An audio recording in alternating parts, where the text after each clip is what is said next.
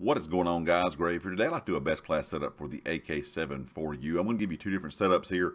One that I use about 90% of the time, which is this setup here. The first one we're going to look at. The second one is something I've been working on.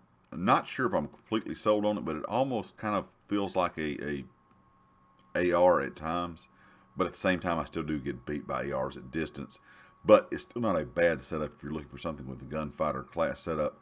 Uh, the first thing we're going to look at, like I said, is the class that I've been running, like I said, 90% of the time when I use the 74U.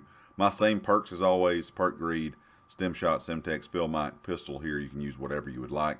And as always, if you're going to use these perk setups, if you're playing Team Deathmatch, I would recommend dropping Tac Mask for forward intel.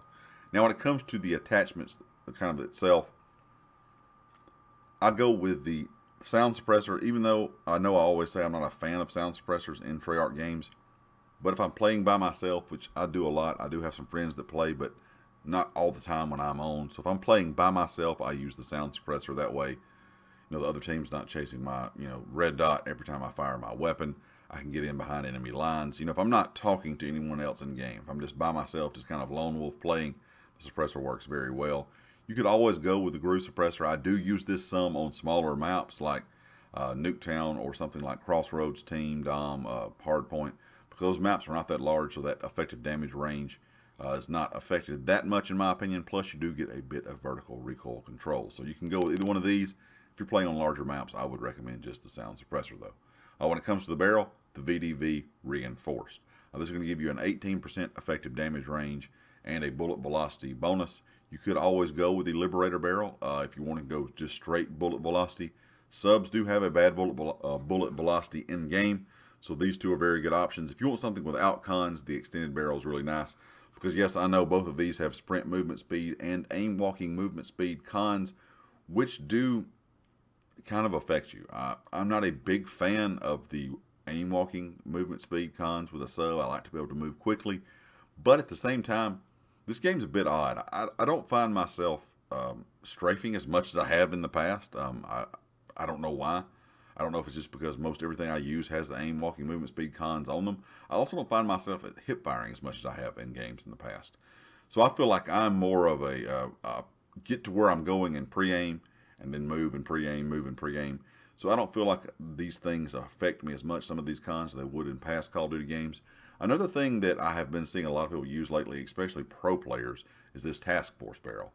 I'm not a big fan of it at all, uh, even though it does give you a little bit more damage, which is only going to be to the head.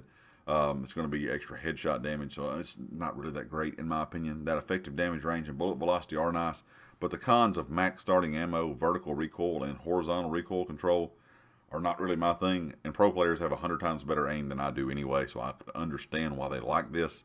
But personally, it's not for me. You may want to try it out, but I just don't really like it at all. I've tried it in several games, and I feel like I do a lot better with the Liberator or the VDV reinforced. When it comes to the underbarrel, the Spetsnaz grip is really nice. The only problem with this grip is that 30% uh, shooting movement speed con.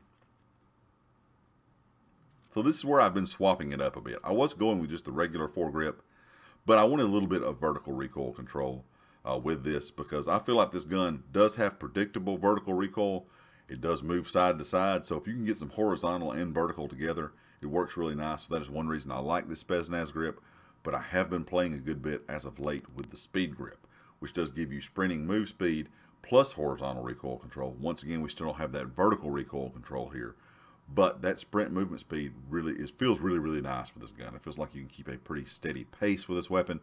And the cons, of course, are movement speed, shooting movement speed, and aim walking movement speed, but only at 6% each. So it's not that bad. If you have not tried this speed grip out, I would highly recommend it. Uh, when it comes to the magazine, this is kind of where I'm leaving this up to you. You can either run a 40 round mag or tape mags. These are the best in my opinion. The rest will hurt your ADS time. And this gun does have a slow ADS to be a sub, so I would prefer personally for me to run either one of these, not something that's going to hurt my ADS. Or you can go with a stock here. The wire stock, if you want sprint to fire with no cons. The no stock, if you want sprint to fire with a little bit of hip fire cons. Or the one that I've been using mainly is the skeletal stock, which has sprint to fire time and aim walking movement speed pros, but hip fire con accuracy, of course, is not. Hip fire is going to be pretty garbage. Uh, let's just be honest. This is what I've been using a lot but like I said, I'm not really finding myself hip firing as much as I have in past Call of Duty games. So this is the setup that I go with, but every once in a while I will drop this and go with a magazine. If it's something where I'm just getting in to the enemy base time and time again and find myself, you know, having to reload too often, I will drop that stock and go with this 40 round drum mag. The next class setup, like I said, this is something I've been testing. I, it feels almost like an AR at times, but it also at times I feel like I get beat with ARs. I'm running Flak Jacket, Scavenger, and Ninja. That way I can still move around the map with a sub and not be heard. So to make up for that, I'm having to run a launcher. That way if a, a spy plane gets called out, I can take these spy planes down easily. Same thing for tactical, lethal, and field upgrade as always. The other field upgrade that I really like using here is a jammer, or of course a trophy system if you're really playing hard on an objective. But the field mic and the jammer are my two personal favorites. When it comes to this setup, I'm going to go with an optic here just because, like I said, I'm trying to make this more like an AR, so I'm going with the Microflex LED. The muzzle brake is what I prefer to use, just a little bit of vertical recoil. You could go with the Spetsnaz compensator. The only problem with this is the con is horizontal recoil control, so I'm not a big fan of that.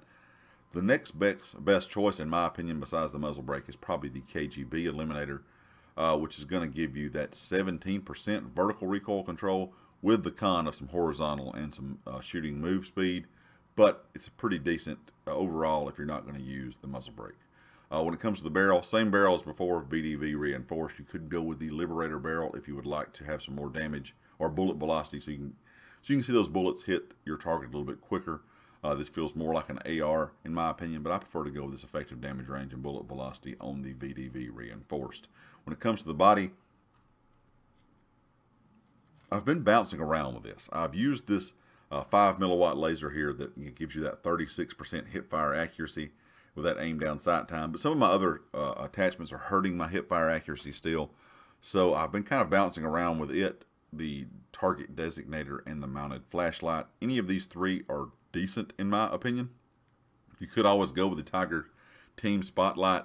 But overall, in my opinion, if you're going to go with something that's going to show enemies or reveal them at a distance, these two are the best because there seems to be no really reveal distance percentage as these show. You know, this shows 60%, this shows 20 but I can see enemies when I'm ADS just as far with this one as I can this one. You know, it doesn't really seem to affect it that much.